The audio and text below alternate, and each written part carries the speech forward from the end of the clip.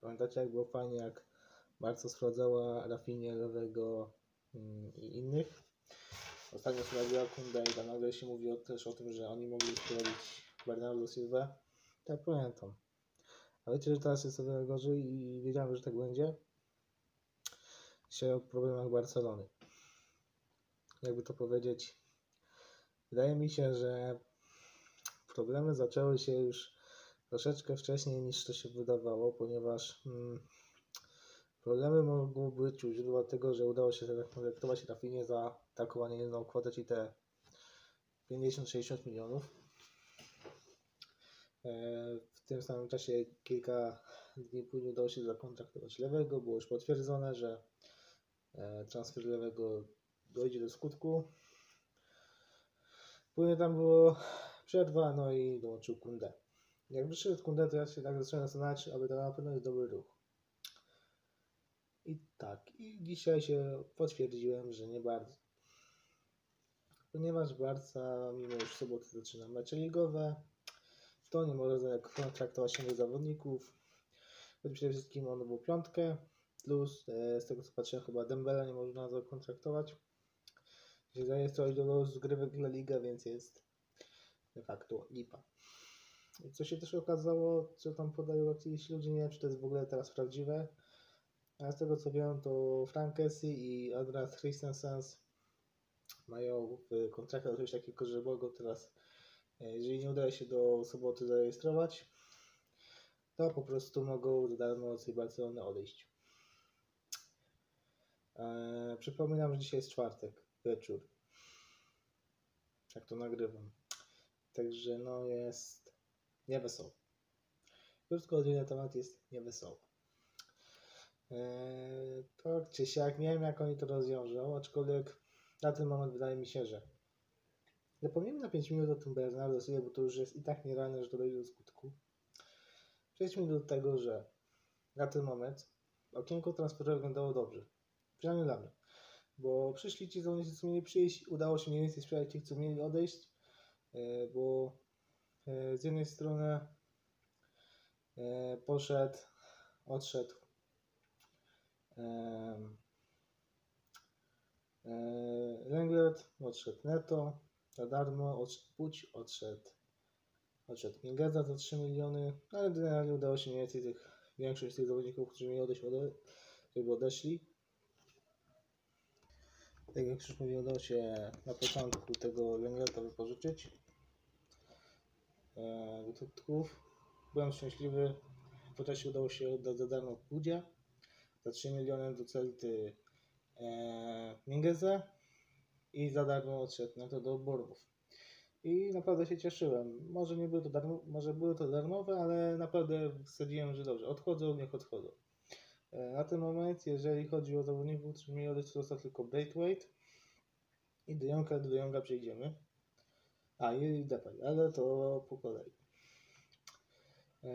Także wydawało mi się, że jest ok, tylko nagle pojawiło się, że jest problem. I ten problem nazywa się De Jong. A dlaczego? Bo z jednej strony on chyba nie jest za bardzo, żeby odejść. Z drugiej strony on chyba nie jest też za bardzo, żeby obniżyć pensję. Przez co dzisiaj się dowiedzieliśmy, że to wspaniałomyślny Gerard Piqué, tego co podaje jakaś tam grupa na Barci, że stwierdził, że z tego kontraktu, który ma teraz rezygnuje i chce, żeby yy, ten yy, nowy kontrakt był bardzo, chyba tam za minimalną, jaką może dostać, żeby można było porejestrować piłkarzy. I w tym, i naprawdę Piqué dla mnie to jest człowiek legenda na ten moment. I naprawdę może gra słabo w poprzednim sezonie, trochę na niego można było narzekać, ale to jest człowiek naprawdę legenda. Wiecie na to, że ten człowiek kiedyś będzie coś w tej Barcelonie robił, jest prezesem, może nawet będzie prezydentem tego klubu. Mam taką nadzieję. E, Ale tak, De Jong ani nie jest chętny, żeby odpuścić, ani nie jest chętny, żeby odejść. Chociaż tak szczerze, na marginesie dla niego chyba lepiej byłoby, żeby odszedł. E, Ponieważ w tym momencie wydaje mi się, że on w tym momencie w Barcelonie wydaje mi się, że jest spalony. Wydaje mi się, że jeżeli zostanie, no to kibice nie będą z tego powodu zachwyceni, ale z tego co się dowiedziałem, podobno przez jakąś tam grupę z Barceloną bardzo mocno związaną. E, tam chyba podczas treningów ktoś do niego obniż, e, obniż pensję suko, coś takiego. Nie, nie wiem, czy to było prawdziwe, ale de facto nie jest to fajne. Ale tak, jeżeli by się udało oddać, sprzedać De Jonga, to byłoby po prostu, wydaje mi się, że byłoby chyba idealnie, bo w ten sposób można byłoby e, no, kogo zarejestrować, tak? Udałoby się zarejestrować, wydaje mi się, na pewno tą dwójkę i e, pozostałych. E, z innych rzeczy to tak, Depay może odejść do Juventusu. Tu już jest tam podobno, tam czytałem chyba niedawno, że no, kwestia jest taka, że potrzebne jest tylko tam chyba porozumienie może paść e, here we go. Czy tak będzie? Nie wiem. Może tak być, ale też nie musi tak być. To jest kolejna rzecz. A następna rzecz to jest e, Braithwaite. Z nim to jest tak, że on też z jednej strony dużo się mówi o jego odejściu i chyba wszyscy by chcieli, żeby odszedł, a w zasadzie to jest pewne, że on musi odejść, bo przy, tak, przy przyjściu Roberta Lewandowskiego, przy Emma Youngu, przy Depayu, jest czwartym napastnikiem, czyli ma najmniej szans na grę. Praktycznie nawet nie wiem, czy byłby podstawowym napastnikiem w takich miało ważnych pucharach, ale powinien odejść. E, Depay chciałbym, żeby odszedł, De Jong chciałbym, żeby odszedł. Z innych zawodników, których chciałbym, żeby odeszli, to tak, Pjanic na pewno, bo ten człowiek już się w tym klubie nie sprawdzi. Niestety z tego co wiem, Krzawi dalej go widzi. Czawi chyba jest ślepy, ale dobra. Nie ja go w ogóle nie widzę, żeby on dalej coś dał temu klubowi. A druga rzecz to jest e, Sergio Roberto. Sergio Roberto, po tego co wiem, to on tam się nim LA Galaxy, do którego odszedł Puć interesował i też mógłby tam odejść. I tak szczerze wydaje mi się, że jak nie, nie będę na tym, żeby on odchodził z tej barcy, tak teraz wydaje mi się, że on nam więcej nic nie da, on się bardziej tutaj nie rozwinie, ja bym tu powiedział, e, Serhi, zrobiłeś dla nas wszystko, zrobiłeś dla nas bardzo dużo, dziękujemy Ci, idź do tego MLS-u, bądź gwiazdą tam. Było nie masz miejsca i wydaje mi się, że jakby odeszł właśnie De Jong, Braithwaite, Pjanic, Robert, jakby się udało, to byłoby spoko.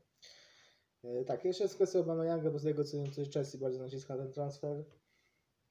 Czy tak jest ok, e, ale szczerze Wam powiem, nie wiem. A nie wiem z jednego prostego powodu, bo wiecie, a on się bardzo wkomponował w ten zespół po tym, jak przyszedł w pół roku. To był naprawdę uważam dobry zakup. I z jednej strony można myśleć, że no, nowy sezon może mieć cięższy, aczkolwiek z drugiej strony jak sobie człowiek myśli, że no, no był w dobrej formie jak przyszedł, jakby teraz tak odszedł, no to byłoby trochę lipa, jakby się okazało, że coś, więc e, no nie chcę mi się wyobrażać tego, że on teraz jedzie do tej Chelsea. Ja że nie potrzebuję napastnika, ale wiecie, hmm, też jest na sprzedaż. A tak naprawdę, no to nie wiem w sumie. Nie, ja bym Obama Younga nie sprzedała. Wydaje mi się, że żeby był albo zmiennikiem, albo grał w duecie z lewym, byłoby zajebiście. I to jest chyba tyle. Chciałem powiedzieć i tak, podsumowując, z tych, co e, przyjdą, nic przyjdzie już, bo to nie ma sensu, już nie ma kogo rejestrować, a jeszcze takie zakupy na ostatnią chwilę to byłoby bez sensu. Y, trzeba po prostu postawić ultimatum, że już nikogo nie kupimy i po prostu do końca okienka próbujemy pozbyć się De Jonga. Żeby znaleźć się na niego chętny, próbujemy pozbyć się Braithwaite'a, żeby też znaleźć się na niego chętny. Chelsea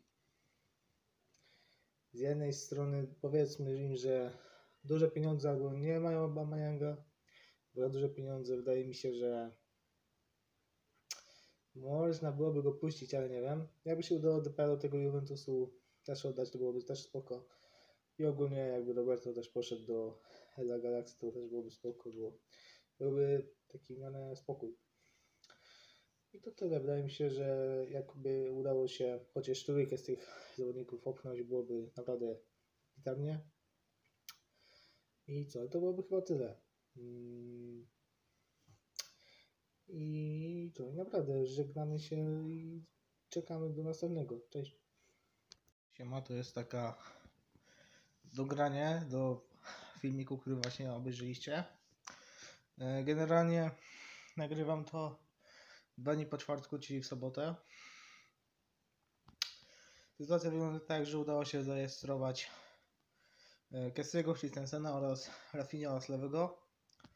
Dlatego jest duże prawdopodobieństwo, że ta czwórka może wystąpić z Rajo dzisiaj. E, Nagrałem to. Wydaje mi się, że mecz już jest, bo miał być chyba 20. Ja to nagrałem 20.14. Także co, liczymy na Barce. Forza Kules i co? E, Czekamy jeszcze tylko na e, zapisanie Kunde, na zarejestrowanie Kunde. No, tam trzeba go sprzedać. Wydaje mi się, że e, jutro albo do końca tygodnia uda się coś wyjaśnić z jakimś zawodnikiem i będzie gitara. Także to jest tyle. Nagrałem to tak na szybko. I co, do zobaczenia następnych filmach. Trzymajcie się, elo. Wami.